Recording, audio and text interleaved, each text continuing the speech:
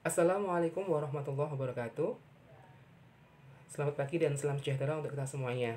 Sebelum memulai kuliah pada kesempatan pagi hari ini, terlebih dahulu marilah kita berdoa menurut agama dan kepercayaan kita masing-masing. Berdoa dipersilahkan.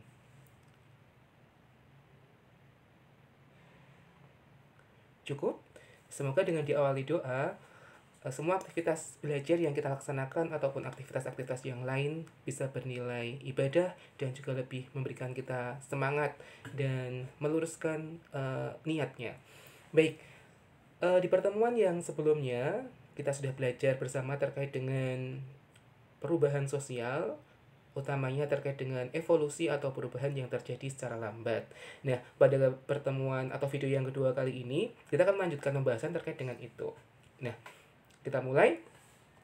Di layar bisa kita saksikan terdapat dua foto yang saya tampilkan. Foto yang di pojok kiri itu merupakan foto style berpakaian di mana uh, style berpakaian pada masa itu uh, masih sangat tradisional, menjunjung tinggi kebudayaan sehingga berpakaiannya adalah berpakaian uh, kebaya atau berbudaya uh, berpakaian dengan style yang sangat sopan di mana uh, yang perempuan memakai rok tertutup, kemudian lengan panjang, rambut dirapikan. Nah, sedangkan pada sisi yang lain di pojok kanan bawah terdapat foto style gaya berpakaian atau modisnya uh, zaman sekarang di mana uh, sudah sangat berbeda sekali dengan zaman dahulu dan uh, sekarang sepertinya style sudah uh, banyak uh, apa namanya uh, kiblatnya baik kemudian kayak Korea kemudian kayak Eropa dan sebagainya. Nah ternyata dari dua gambar ini dapat kita ambil suatu pembelajaran bahwa ada satu perbedaan gaya berpakaian di mana pada masa lalu itu sangat berbeda dengan masa sekarang. Ya mulai gaya berpakaian sudah berbeda tata rambutnya juga sudah berbeda. Pada hal yang lain apa kira-kira perbedaan dari kedua gambar tersebut?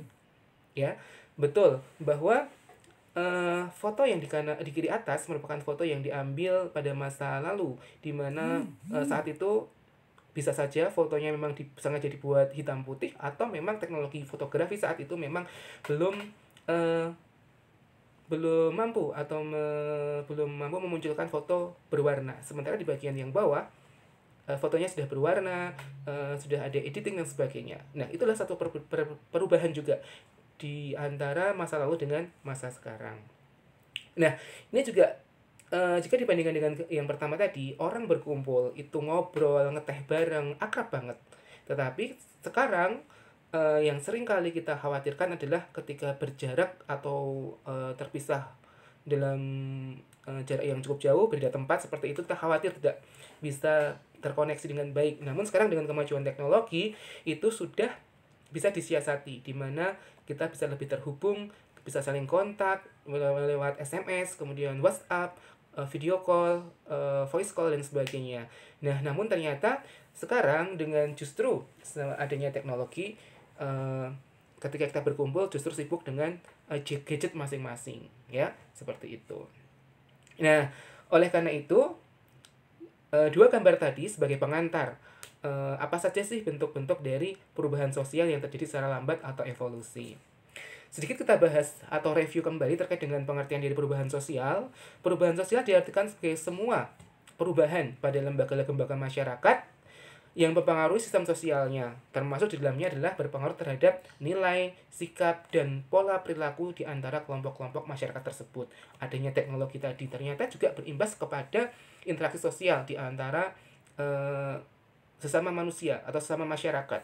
Zaman dulu ketika belum ada gadget uh, apa namanya uh, Idul Fitri itu bahkan kalau di desa-desa uh, zaman dulu sampai harus uh, naik sepeda ke lintas desa, lintas kecamatan, bahkan lebaran itu nuansanya berkunjungnya antar satu rumah ke rumah yang lain ke karib kerabat sampai dengan tiga hari bahkan seminggu. Tapi dengan adanya gadget sekarang, kita bisa kirim WhatsApp, video call dan sebagainya uh, nuansa Lebaran atau Idul Fitri itu uh, sehari sebelum Idul Fitri saja sudah bisa mengucapkan selamat, ngirim ucapan dengan berbagai macam kreasi, baik dengan gambar bahkan dengan video. Saking kreatifnya seperti itu. ya inilah perubahan di mana perubahan e, pada kelembagaan masyarakat akan mempengaruhi sistem sosial termasuk nilai sikap dan pola perilakunya Uh, McLever mengatakan bahwa perubahan sosial itu sebagai perubahan dalam hubungan sosial atau sebagai perubahan terhadap keseimbangan equilibrium dari suatu hubungan sosial di antara sesama uh, manusia dalam satu masyarakat tersebut. Gilin dan Gilin juga mengatakan bahwa perubahan sosial itu merupakan variasi dari cara-cara hidup yang telah diterima, baik karena perubahan kondisi geografis, kemudian uh, kebudayaan, uh, komposisi penduduk, ideologi, maupun difusi ataupun penemuan baru dalam masyarakat. Jadi, uh, perubahan sosial menurut versi dari Gilin ini uh, pada akhirnya bisa diterima baik perubahan tersebut karena kondisi geografis, baik karena uh, bencana alam, kemudian uh, masyarakatnya berubah, kulturnya atau uh, mata pencahariannya dari yang sebelumnya baik berubah kebudayaannya karena sekarang misalkan sudah banyak uh, terpengaruh dari budaya-budaya asing yang semakin terbuka dan mudah dilihat dan diadopsi termasuk juga ke komposisi penduduk di mana usia muda semakin banyak dibandingkan dengan usia tua, usia muda kemudian berani menciptakan style-style gaya berpakaian yang baru, perilaku yang baru dan sebagainya. Termasuk juga ideologi bahkan penemuan-penemuan baru di masyarakat. Dan nanti akan kita bahas bagaimana suatu penemuan itu uh, sangat mempengaruhi betul terjadinya uh, perubahan sosial. Kemudian Salah Sumarjan mengatakan bahwa perubahan sosial adalah perubahan pada lembaga masyarakat dalam satu masyarakat uh, dan pengaruh sistem sosialnya ya yang kita sudah sampaikan tadi termasuk perubahan pada aspek nilai, sikap dan pola perilaku di antara kelompok-kelompok masyarakat.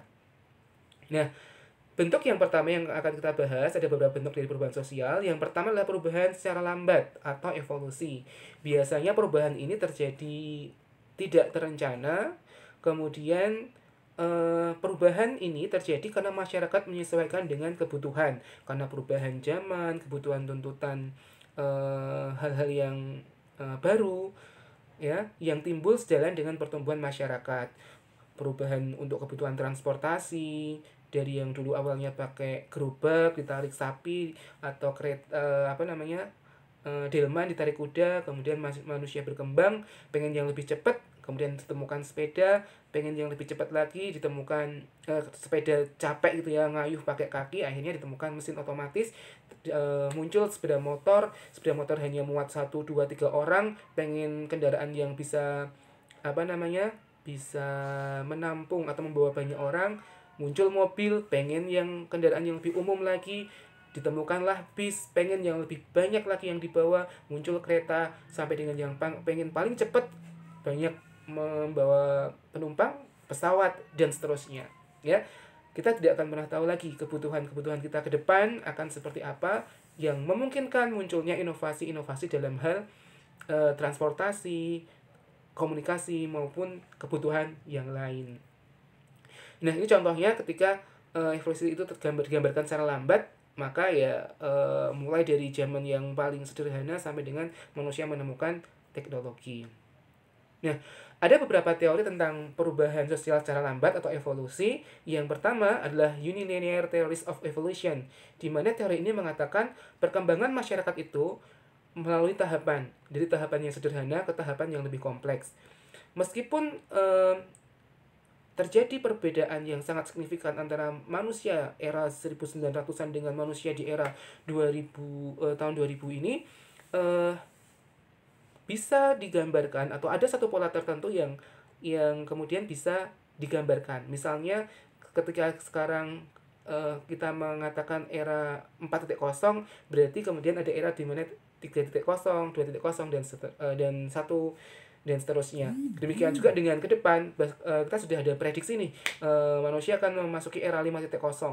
Nah, dan seterusnya. Ada pola-pola yang memang bisa di di uh, ditahapkan seperti itu ya uh, tokoh yang menyampaikan terkait dengan teori ini adalah Durkheim uh, di mana uh, Durkheim mengatakan bahwa terjadi perubahan sosial dari masyarakat yang awalnya uh, berprinsip solidaritas berkelompok ke me uh, dari mekanis ke organis ya Kemudian Merton dari masyarakat tradisional bertransformasi mengalami perubahan sosial ke arah manusia yang yang lebih modern.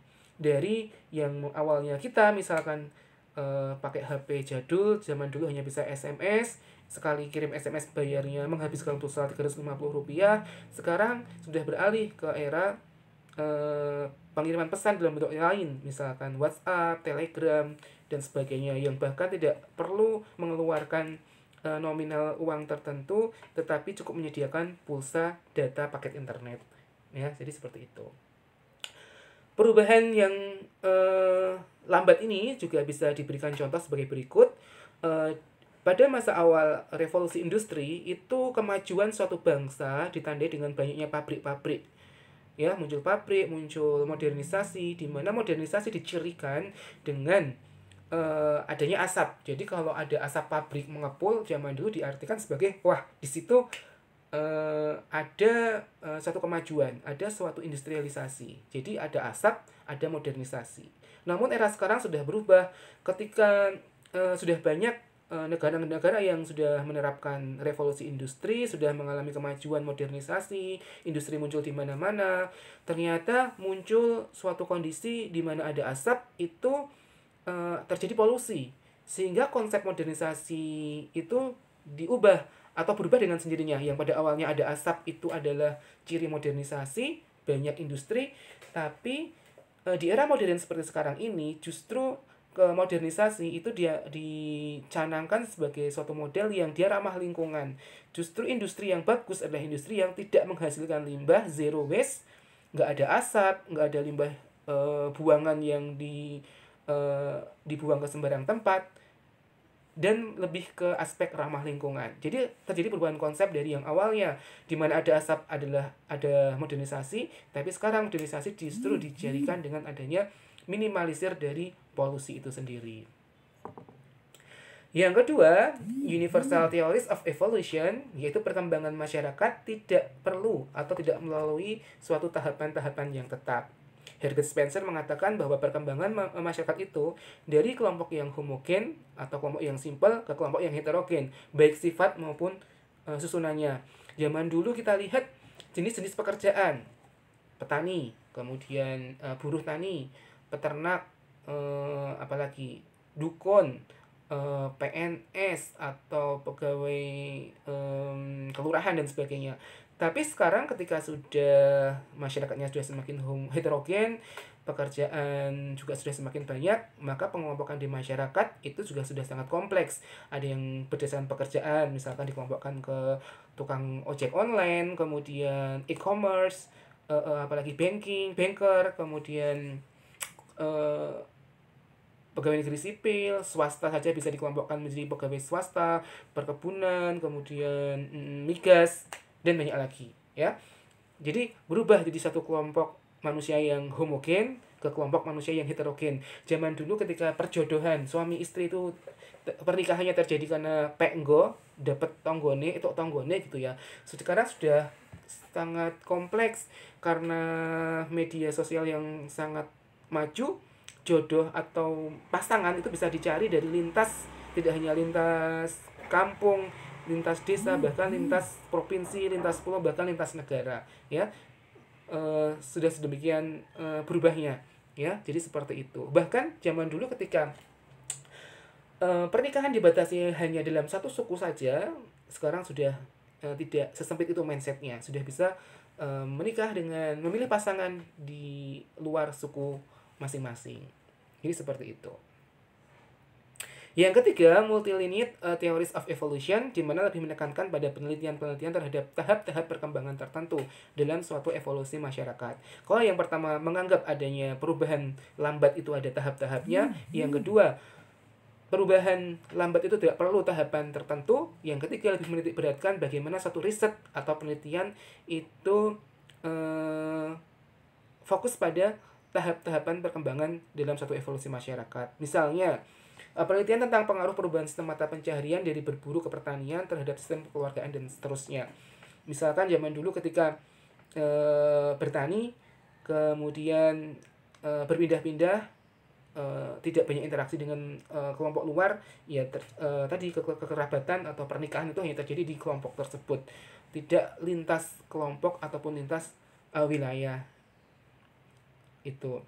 Kemudian uh, perubahan yang evolusioner sering tidak dirasakan sebagai satu perubahan. Saking lambatnya uh, sehingga kita tidak merasa sering kali manusia tidak merasakan bahwa telah terjadi suatu perubahan ya. Karena masyarakat telah berhasil menyesuaikan diri secara sempurna terhadap perubahan yang terjadi tersebut ya. E, gaya berpakaian seperti sekarang yang kita pakai kemeja dalam zaman dulu mungkin pakai sorjan pakai e, apa ya ya pakaian masih tradisional tapi ketika sudah berubah seperti sekarang ini mungkin kita baru sadar. Oh ternyata zaman dulu di slide pertama tadi ya dengan zaman sekarang style berpakaian sudah beda banget gitu ya. Kita nggak merasakan Eh, kita baru sadar baru ngehnya ketika membandingkan kondisi dulu dengan kondisi sekarang.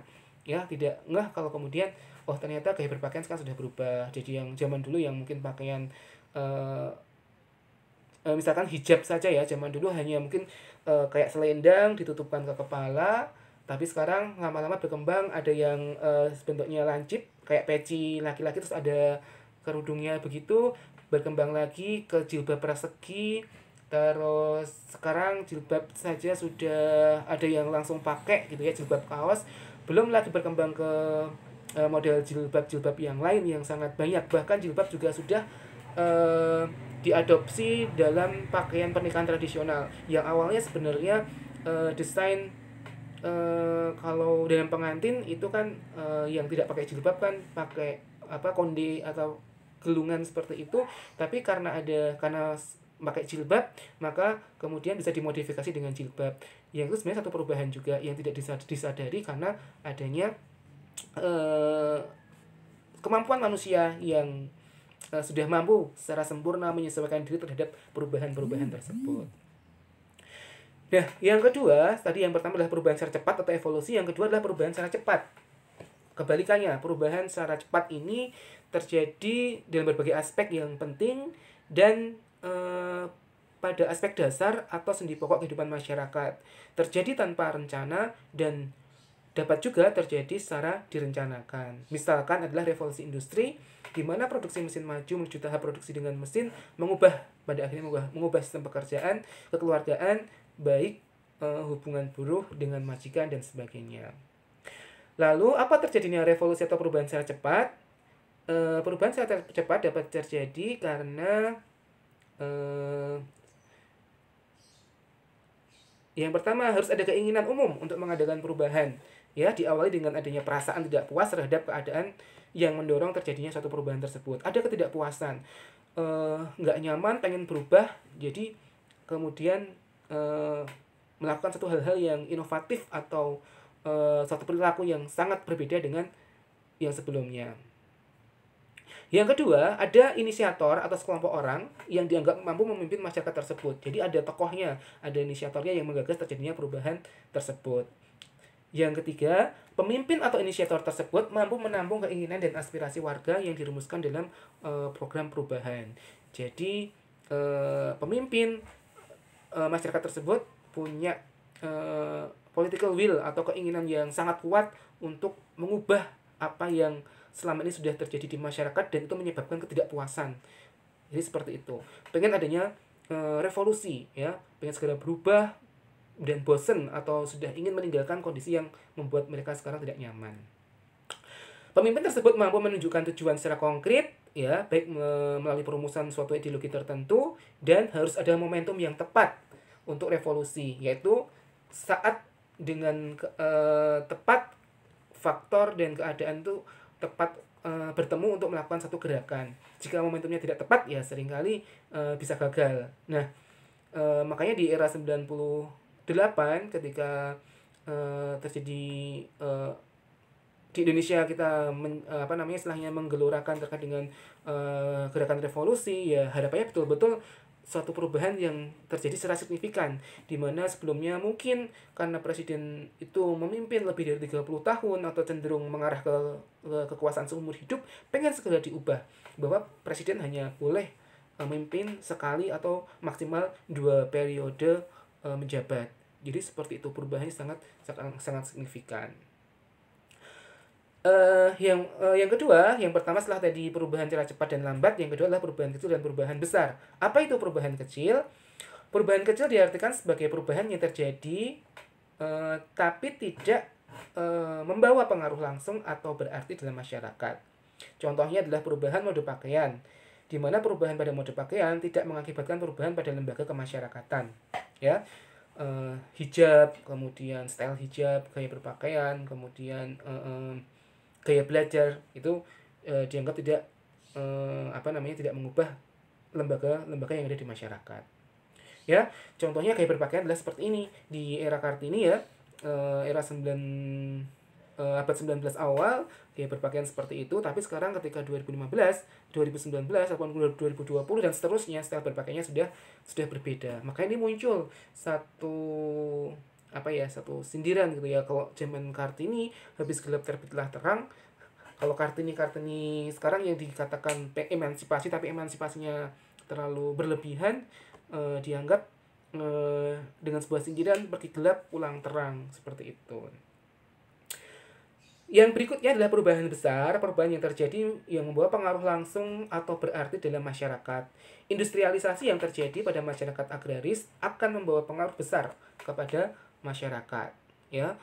Ini tadi yang sudah kita singgung eh, perubahan besarnya mengakibatkan hubungan buruh dengan majikan kemudian terkait dengan penggajian terkait dengan jam kerja bahkan mungkin ada shift shiftan ketika belum ada revolusi industri mungkin jam kerja ya jam 7 sampai jam 3 atau pagi sampai dengan siang maksimal sore.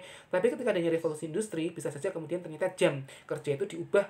Apalagi kalau sampai 24 jam full ada pekerjaan kerja dari jam 7 sampai jam 3, jam 3 sampai dengan jam 11 malam, bahkan ada juga yang dapat shift jam 11 malam sampai jam 7 pagi. Ya, luar biasa. Uh, yang malam itu sering kali dipakai untuk tidur, ada sebagian orang yang kemudian bekerja karena adanya kebijakan uh, pekerjaan di uh, pengaruh revolusi industri ini.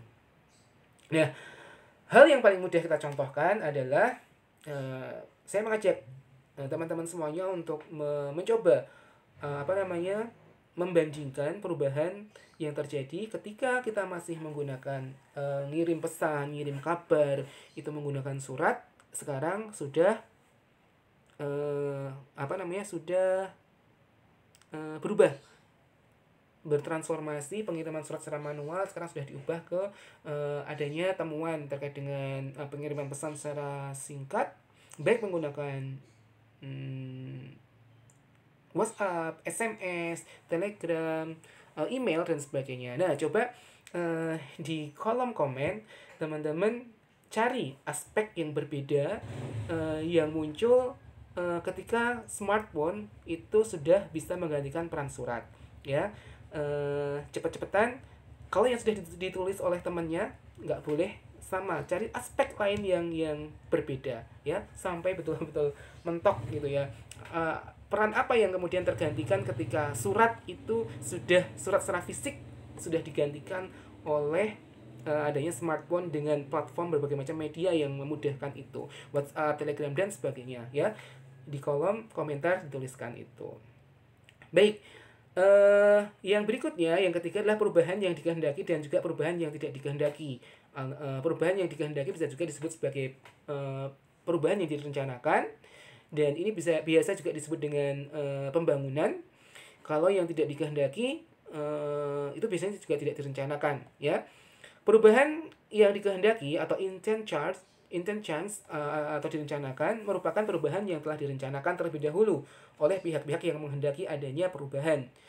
Uh, dan uh, pihak ini bisa dikatakan sebagai agent of change-nya perubahan itu sendiri uh, agent of change bisa berasal dari seseorang maupun institusi atau lembaga resmi, baik itu lembaga pemerintah maupun lembaga swasta seperti LSM atau kelompok-kelompok komunitas.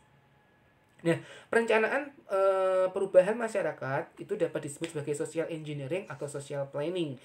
Perubahan yang disengaja direncanakan misalnya disebut dengan istilah pembangunan atau modernisasi tadi.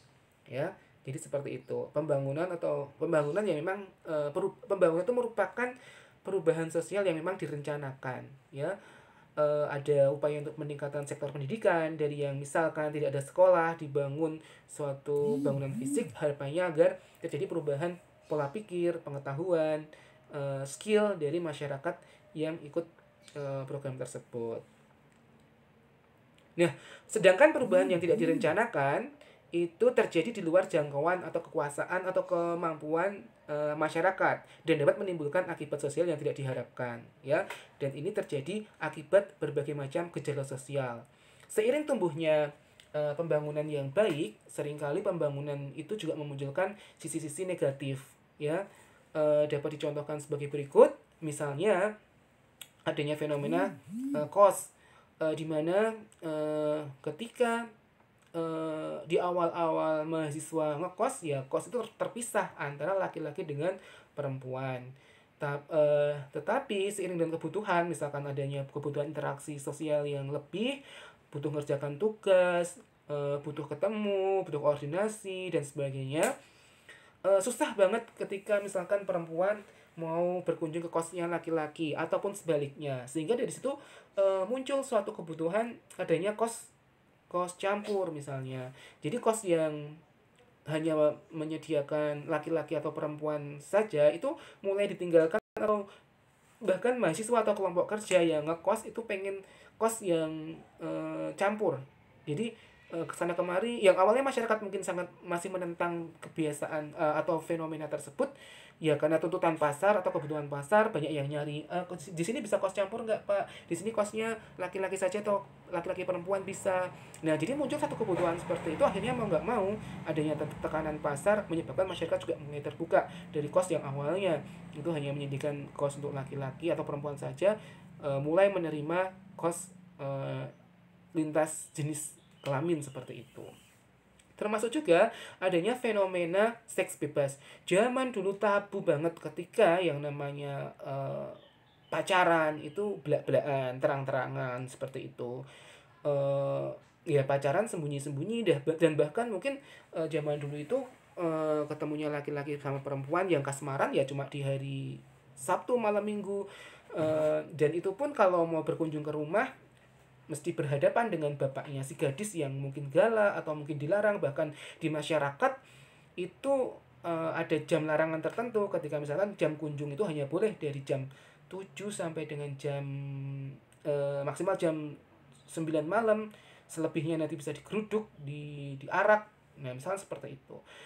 Bahkan aib banget ketika ada anak perempuan atau uh, orang tua itu sampai mendapati anak perempuannya itu hamil di luar nikah tetapi seiring dengan fenomena uh, hubungan uh, apa namanya ya lawan jenis yang semakin terbuka atau semakin diterima masyarakat ya akhirnya pacaran itu uh, tidak hanya kelasnya orang yang sudah mau menikah usia 20-an ke atas tapi mahasiswa sudah mulai meni, uh, mulai, mulai pacaran bahkan SMA sudah mulai pacaran SMP bahkan lebih parah lagi misalkan SD juga sudah mulai ada yang pacaran. Nah ini kan satu hal yang yang cukup aneh bahkan termasuk yang awalnya tujuan misalkan uh, sosiolog mengatakan misalkan tujuan pernikahan adalah uh, untuk uh, tujuan pacaran adalah untuk apa uh, saling mengenal tetapi ya banyak modus-modus lain yang kemudian uh, misalkan memunculkan adanya fenomena uh, atau perilaku seks bebas atau seks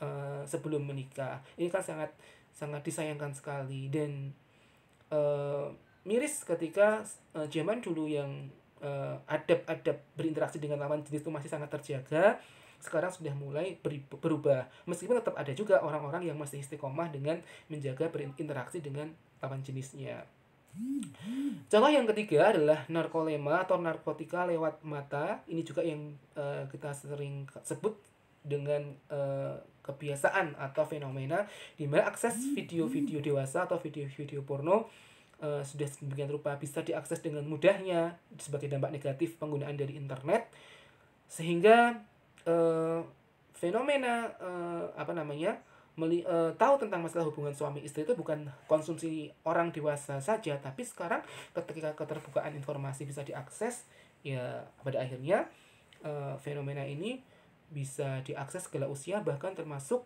dari uh, kelompok anak-anak. Nah, eh, demikian untuk perubahan sosial dari segi ada tiga aspek tadi. Yang pertama adalah perubahan cepat dan perubahan lambat, kemudian perubahan besar dan perubahan kecil, dan yang ketiga adalah perubahan yang direncanakan dan yang tidak direncanakan.